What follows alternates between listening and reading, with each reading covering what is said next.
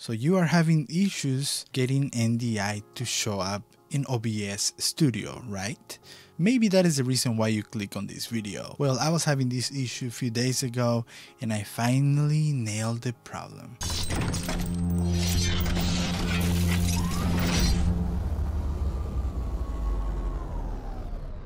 See, I went on YouTube and I followed some of those guides on how to, you know, install NDI and blah, blah, blah. And so I followed some links and downloaded the links that they posted and no luck. OBS Studio wasn't picking up the NDI plugin. Why? I'll tell you why. Well, first of all, I went and downloaded OBS Studio, right? This one right here. And something to take in consideration is very, and it's very important the version of OBS. See, the version 21.1, right?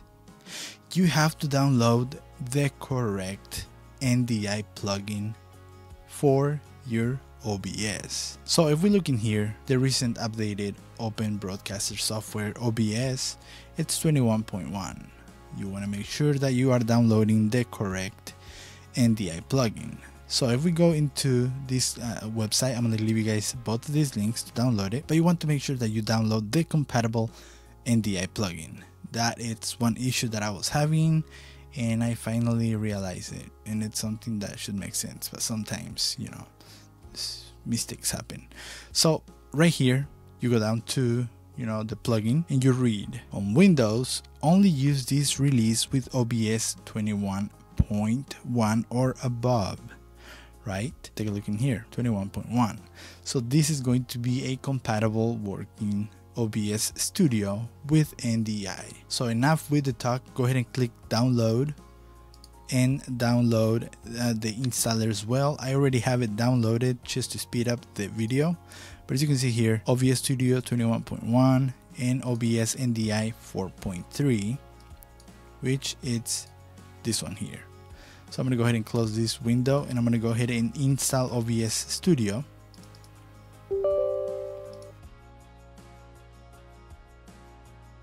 And here we go.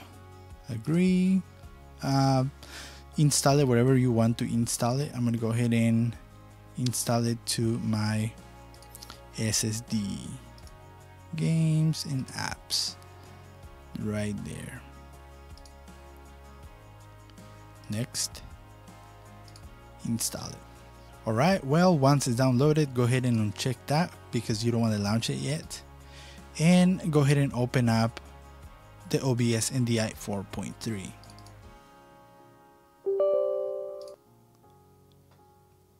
Alrighty, select your language, click OK, accept the agreement. And right here, guys, you got to be very careful. Right here, I made a mistake that was also causing problems. I changed the installer path. See this right here, this installer is going to install it right into the folders where the plugins of OBS are. What I did wrong is that I changed the installer as well. That was one of the mistakes that I did. And I was also installing incompatible NDI plugins with OBS Studio. So that is probably an issue that you're having. So let me go ahead and uh, install it. See, this little error thing pops up, right? And that makes you think, why well, I, I need to change it. So click yes.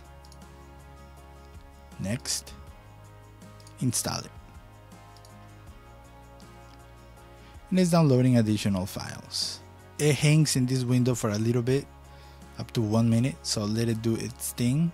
There it is. Now go ahead and click finish and go ahead and restart your computer. So I'll be right back. Alright guys, so we are back. Now let's go ahead and open up OBS Studio. And well, here we have our OBS Studio. Up my mic and everything. Let me go ahead and uh, now if you go on tools, you have the NDI output plugin setting. So all you gotta do is enable it on your gaming PC and click OK. Alright, and you do the same procedure with your streaming computer. And after that, you know your own settings, your own things, blah blah blah. Let me go ahead and uh, launch my streaming PC.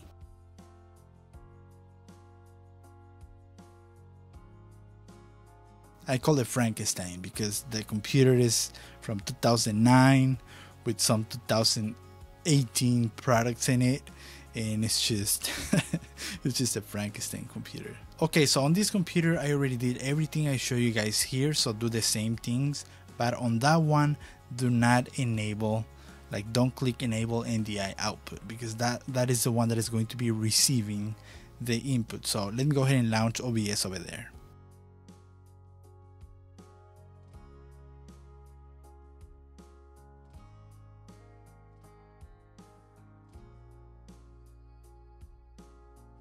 See there you go you can see it back here. It's already picking up whatever um well, let me close this. It's already picking up whatever it's on OBS studio. And see I am moving it here on the screen and you can see it back there with a little bit of delay which is okay. Also uh, check check this out. I am recording with Streamlabs OBS so check this I'm gonna bring it into the screen. You can see it moving around, right? And that is the magic of OBS Studio NDI plugin. Now, when it comes to Streamlabs OBS, I am going to make a video about that explaining a couple of things, but it doesn't work the same. I'm just saying. So if you want to capture everything you're doing with OBS over here, you want to use OBS Studio. Streamlabs OBS is still not supported, even though they release an NDI plugin it's just not it, it, it's not worth it. All right guys what i want you to take away from this video is download the correct version of the ndi plugin according to your obs studio version. If you watch this video a few months from now just remember download the correct version of ndi plugin according to your obs studio version if you do that, you will not have problems. You have to do the same thing with both computers. And if you don't know what version of OBS you're using, well, it's right here. OBS Studio 21.1.0. If you have any questions, if you're having issues trying to get OBS Studio to work, please leave them down below in the description. I'll be happy to reply ASAP as soon as possible and or the community out there. Please let's help one another. This was your host, Sergio with Tek Overclocked, signing out. I'll see you guys next time.